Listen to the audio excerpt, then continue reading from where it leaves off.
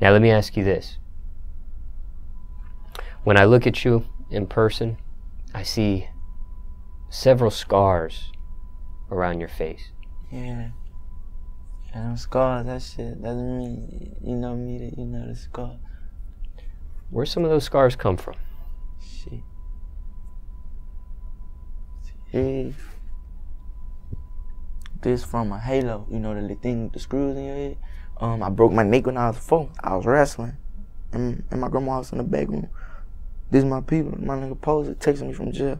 You hear me? But say, my mama called too. But hey, I was wrestling in my grandma back room when I was four. With the dudes down from down the street.